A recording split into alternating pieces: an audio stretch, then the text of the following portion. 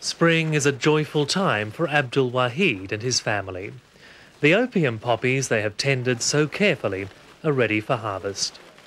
Soon the heroin middlemen will arrive to buy their entire crop. The village will make just enough money to survive another year. It's got high value and we get our food through it. The opium becomes a drug called heroin, which hurts many people in the West. Do you worry about what happens to the opium when it leaves here? We don't know what it's made into or what happens to the people. We're just solving our problems and we need it.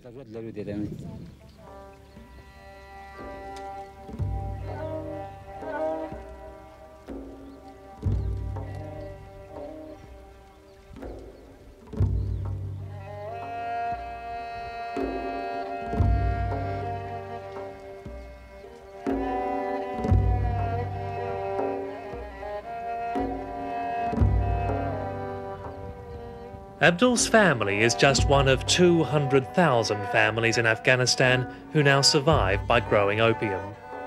The United Nations estimates this year's crop will produce almost half the world's supply. The white sap will be dried and taken to secret laboratories to be processed into heroin. Within weeks, it will start to flood the West. It's no secret where the opium is produced in Afghanistan. We're just near the city of Jalalabad, and we picked this village at random as we drove past and saw the poppy fields. And 90% of this year's crop has been grown on land controlled by the fundamentalist Taliban.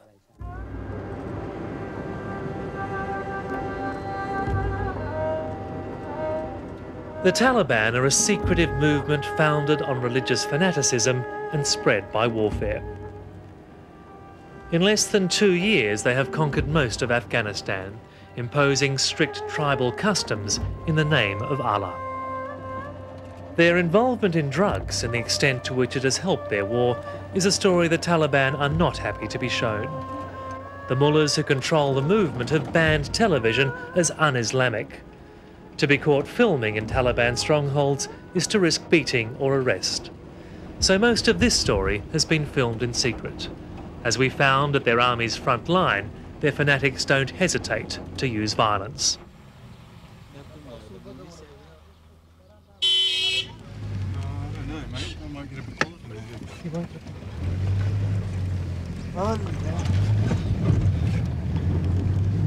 Mr. Camera. Uh, need to plug in here.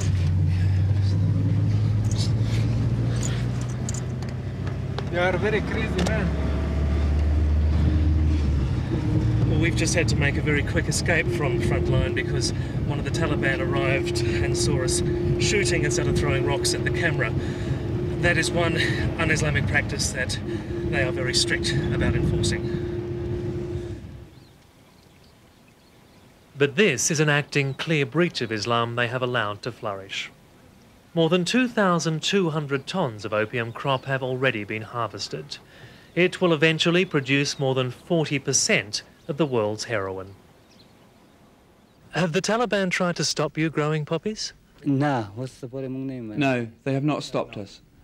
No problems. No. The Taliban claim to be as pure on drugs as they are on all other Islamic bans. Najibullah Shams is their Minister for Drug Control. Unaware of our camera, he showed me posters and propaganda he said discouraged cultivation. Mr. Shams even consented to a television interview, but he insisted the camera should be pointed away from him, so the sin of recording a living image would be ours, not his. According to Islam, the Quran, the Prophet Muhammad, and Sharia law, the use, trafficking, and planting of drugs are prohibited, and this prohibition is at the top of our agenda. Certainly, the campaign against drugs is at the top of our agenda.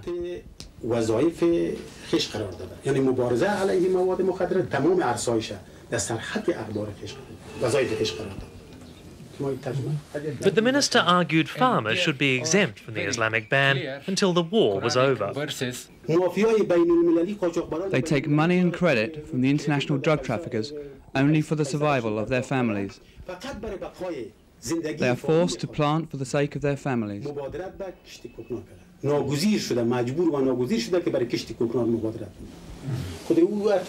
Once order was restored, he said, and the country united, poppy cultivation would end.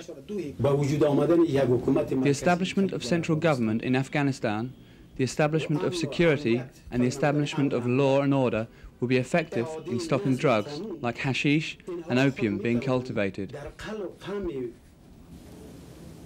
زر نباتات معلد مواد مخدر یعنی اهم از کوکنار و چرس این مؤثر واقع شود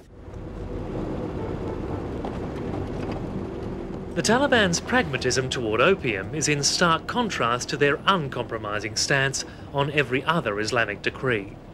They have dragged each captured province back to an idealized Islamic past. After just eight months of Taliban control, the once sophisticated capital Kabul looks more like a 19th century village. Western dress has been banned, along with music, smoking, alcohol, films, television, even kite flying. Women continue to be barred from jobs and education. Those found breaching even minor decrees are publicly beaten. Just today, we had a case where uh, two women were beaten outside of this office for wearing uh, sandals. Beaten by Taliban? Beaten by Taliban. Um, beaten by, uh, they have um, electric cord, which they beat the women with. Ross Everson represents 70 foreign aid agencies based in Kabul. His dealings with Taliban officials leave him cynical about their promise to curb drugs.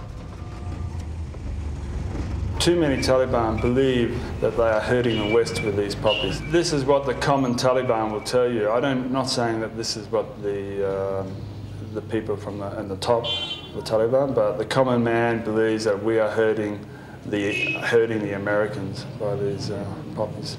So they see it as a good thing? Yes, definitely, definitely. Some of them definitely see a good thing. They're very happy about it. Afghanistan's opium dependence is a direct legacy of almost two decades of war. The fighting against Soviet invaders and later between militias backed by neighbouring countries has shattered the economy, destroyed the towns and devastated the rural communities. Abdul's village is typical of the privations farmers face. There is no money for irrigation, so the only crop they can afford to grow is poppy. There is not much water here, but this crop needs less. Other crops need more. They would die of thirst. The Taliban's tolerance of opium has helped their military advance. Last year, before the Taliban invaded this area, the local Mujahideen tried to stop the poppy harvest. The community revolted and welcomed in the Taliban. If the Taliban do the same thing, the people will rise up against them, and there will once again be anarchy. But the Taliban's involvement in drugs goes beyond mere tolerance. They also have a direct financial stake in the trade continuing. Opium is by far the most valuable crop Afghanistan produces. In each area they have conquered, the Taliban have imposed a 10% tax on the proceeds of opium sales. We used to pay the tax before, but not since the years of revolution and anarchy. Now the Taliban are collecting the tax again. The Taliban will be charging the farmers a tax on the crop they have produced. Does that mean the Taliban are profiting from drugs? This type of arrangement by the Taliban has been practiced for hundreds of years, not only in Afghanistan, but in other Islamic countries.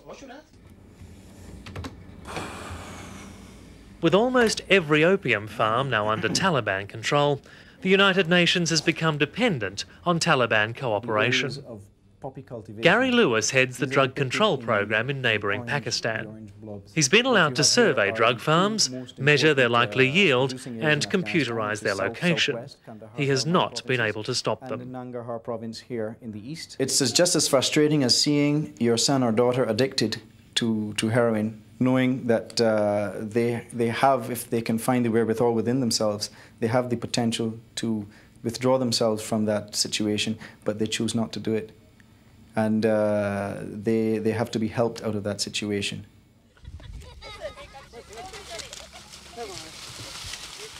The UN estimates the farmers could be persuaded to switch to other crops at a relatively minor cost. Afghanistan's total farm income is less than $100 million a year.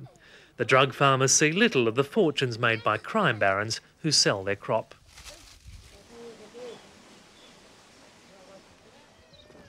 Abdul took us back to his simple mud brick home at the edge of the poppy fields.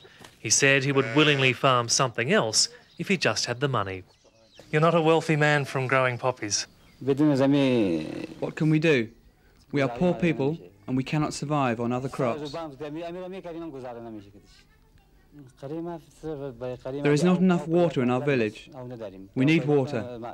If we get enough water, then we could grow rice, melons, and vegetables.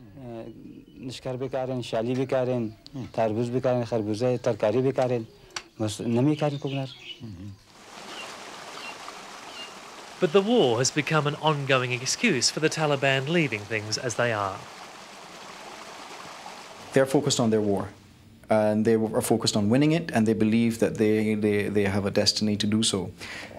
Everything else will come afterwards. The Taliban's war shows no sign of ending.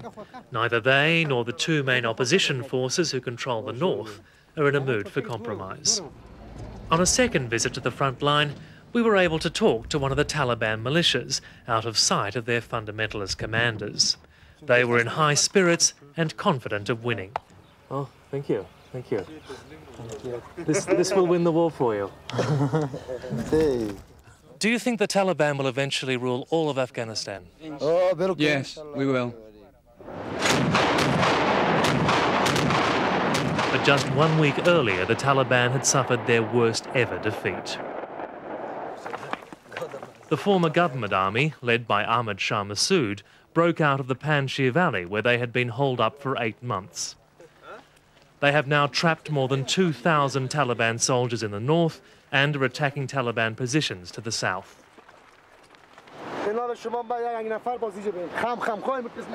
Their defeat has cast serious doubt on their ability to ever win the war, the precondition they have set for ending the opium trade. Massoud has already banned opium in the areas he controls leaving the Taliban as the only significant faction allowing widespread opium production. Tell me again, you are from Egypt, aren't you? Yes. The UN Special Envoy to Afghanistan, Norbert Holl, has tried and failed to persuade the parties to negotiate. He believes the past month has proven the Taliban cannot unite the country by force. I would not totally rule out a possibility of a military takeover of one side or the other over the whole territory. But what the events have shown is that even such a military takeover would not lead to stability. It would lead to political instability. Dr. Holl, the other thing that is happening in the midst of this crisis is the harvesting of a record opium crop, which is a major security worry for the rest of the world. Are you satisfied with the Taliban's efforts to eradicate opium? Can you see any progress unless this conflict is settled? I think we all agree that this situation is not at all satisfactory and that we have a lot of uh, lip servicing uh, when we ask that kind of questions to all the parties. In Abdul's village, they've ceased believing that anything will change. The children are already learning the craft of producing opium. Islamuddin is just 12 years old, but he has no doubt what he'll do when he grows up. I have to grow opium. There are no schools to go to. What else can I Do Do you think growing opium is a good thing or a bad thing? It is good for poor people, but not good for the rich. A gift. Thank you. Thank you very much. Thank you.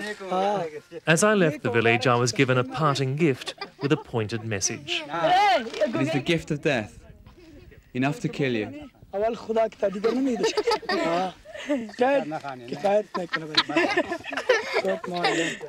Thank you very much. Thank you very much.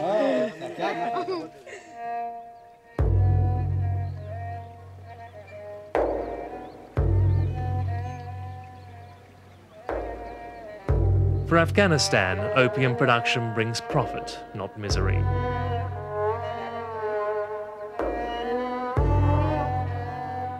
The people rarely see the damage it causes other countries, and few seem to care. Foreigners brought death and misery to their country and plunged it into endless war. In the eyes of many Afghans, they are now reaping its deadly harvest.